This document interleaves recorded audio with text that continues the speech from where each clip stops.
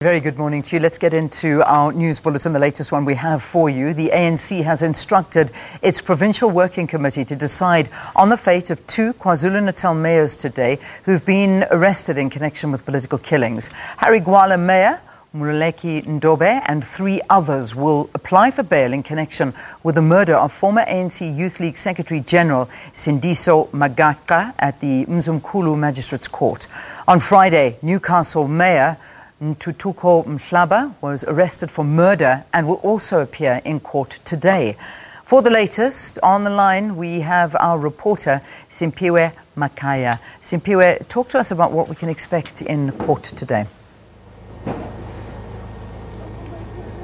Well, a very good morning to you, Leanne, and good morning to Sakina as well, as well as our viewers at home. We are coming to you live from Emma Emadadeni Magistrates Court here in Newcastle, ahead, of course, of that court appearance of a high-ranking ANC official who is accused of uh, killing Wandile Ngubeni, who was the then uh, Deputy uh, Regional Secretary of the ANC here in, at the Emalahleni region. The region, uh, Renee, has had a number of challenges uh, of divisions. We will recall that at some point the offices of the ANC in, the region were torched, allegedly by some youth league members. But I'm not going to waste time, Leanne. I'm going to now try and speak to the ANC chairperson in the Emalahleni region uh, Mr. Senzo Khumalo to take us through uh, about some of the issues that are, plaguing this region. Mr. Kumalo, thank you very much for your time. Why is this region experiencing these crises? Uh, this region comes from a very difficult uh, past where else there have been divisions in the movement. While the Youth League was trying to build from there, apparently there was a lot of friction between the ANC and the Youth League, which has led us to, I think, the day we are in court today. With regards to this uh, High Court, uh, this this uh, court appearance today, we believe that a high-ranking ANC official is due to appear today. The ANC provincially has stated that those who are implicated in murder must be recalled from their positions. Is this going to perhaps uh, save the ANC?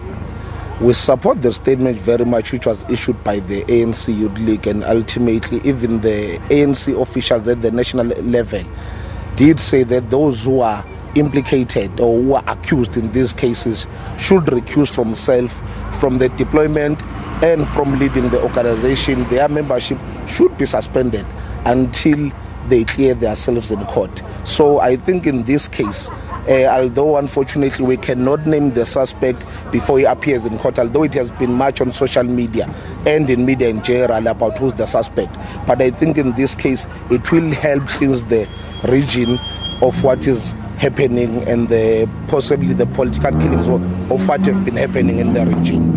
The, the, youth in this region, uh, Mr. Khumalo, has been accused of causing divisions. At some point, you'd recall that uh, some actually accused you guys of torching the ANC offices in this region after the suspect who's due to appear today in court had taken over the chairpersonship of the region. Mm. Uh, about the torching of the office, it is very funny because we were the ones who were accusing them of leading. In the ANC, you need five years to be to lead in the regional executive committee. So we are the ones who are accusing and saying there are people who are not eligible to lead in the regional office as they have not do not have five years, and those who did not qualify in terms of their suspensions in the movement. So that's why I think the membership issue started.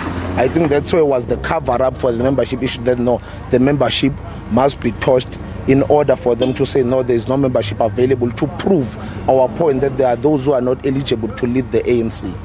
Mr. Khumalo, it would seem though that uh, many of those who are killed uh, within the ANC are young leaders. I can mention uh, a few like uh, the former Youth League Secretary uh, Sindiso as well as the Maphumulo case down in Durban. Doesn't this worry you as young leaders of, of, of the ANC that perhaps your life uh, may not be that safe? It worries us very much. In fact, it worries uh, to an extent that the organization will have no future if this thing persists. Because we, as the young leaders of the organization, we should be taking over the baton from our elders. So if the young leaders are killed, if you kill your own future as an organization, I wouldn't want to say the organization is killing its own future. It's just barbaric individuals who are hell bent at the grabbing power at all cost. So I would like to disassociate that from the movement because they are no more, no longer uh, members of the ANC. Members of the ANC do not do that at all. So, thank you very much for your time. Okay, thanks a lot. Thank you. There is the, the Regional Secretary of the ANC here in the Emalahleni region, uh, Senzo Khumalo, taking us through some of the issues that are affecting the ANC here in this region, ahead, of course, of the court appearance of the high-ranking ANC official just inside this court a few m- moments ago. I mean, a few moments from now. It's back to you, Leanne, in studio.